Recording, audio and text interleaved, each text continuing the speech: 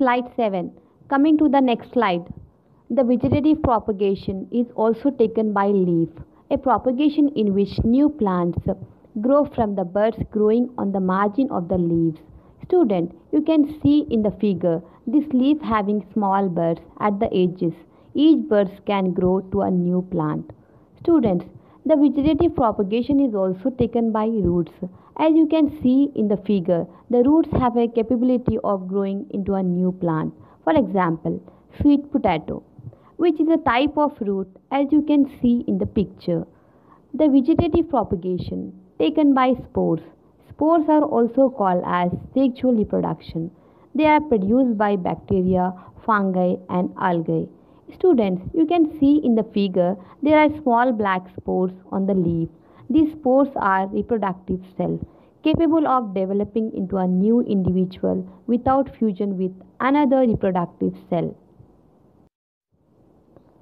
Slide number 8 Reproduction by seeds. Students, in this nature, the major reproduction process taken place in the seeds.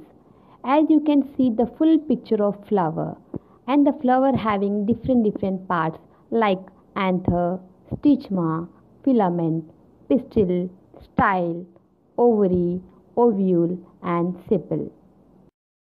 Slide number 9. In this slide, we are going to study about female and male reproductive parts. As a student, you can see the picture. The left part of the picture is female reproductive part and the right part is male reproductive part. The most important thing in this flower is flower having both the male and female reproductive parts. There are three main female reproductive parts.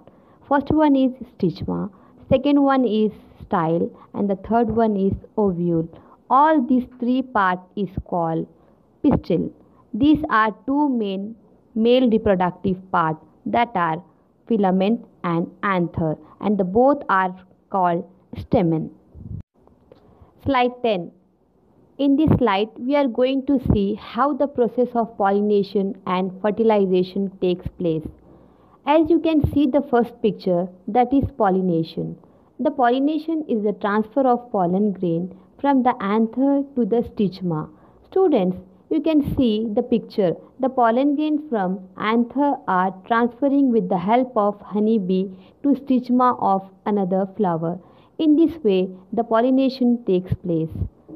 Now, next we will see about fertilization process. Once the pollen falls on the stigma of the pistil, the pollen tube goes downwards and reaches to the ovary to the bottom of the pistil. There are male and female sex cell fuses in the ovule of ovary. This fusion is called as fertilization. Slide 11. Now coming to the structure of seeds. Students, this is a type of seed if you cut the seeds from the middle, you will find the cross section part of the seed, in which seed have a different different parts such as plumule, embryo, radicle, seed coat. This seed coat is also called as testa and cotyledon. There are three most important part of seeds which are embryo, cotyledon and testa. Students, the embryo helps to the development of a new plant and cotyledon having a ability to store food for the growth of embryo and the testa is the outer protective layer of seeds. Slide 12. In this slide, we are going to see the type of cotyledon. The cotyledon further divided into two parts. First is monocotyledon. Mono means single. The seeds who have single cotyledon is called monocotyledon. For example, maize, rice, wheat, grain, etc. The second one is dicotyledon. Di means two. The seeds who have two cotyledons is called dicotyledon. For example, pea, bean, gram, etc. Slide 13. Students, in this slide, we will study about the seed germination. Now we will see how seed germination takes place. First, we will see what is germination.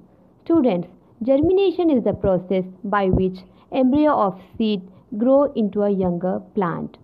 The germination of seed takes place in different stages. So dear students, we will see the stages one by one. Stage 1. In this stage, the seeds are scattered, ready to grow. Stage 2. In this stage, the seed begin to absorb water from the environment and the embryo divided into two parts. First one is plumule and the second one is radicle. Stage 3. In this stage, plumule develops shoot and the radicle develops root. Stage 4. In this stage, the food required for the development of embryo into the plant is supplied by the cotyledon. Students, stage 5. In stage 5, shoot and root develops and seed coat burst. The last one is stage 6. In this stage 6, the stem and its leaf grow to